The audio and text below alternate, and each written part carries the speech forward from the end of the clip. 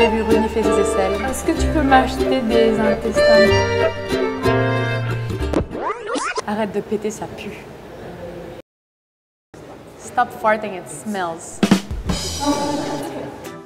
FHM or FHM How will I say it in a nice way? Je l'ai vu renifler ses aisselles et j'ai kiffé. I saw him smell his armpits and I liked him. oh là là, il y a encore des embouteillages sur Edsa. Traffic na naman sa Edsa. Est-ce que tu peux m'acheter des intestins de poulet, s'il te plaît? Pabili naman ng isaw.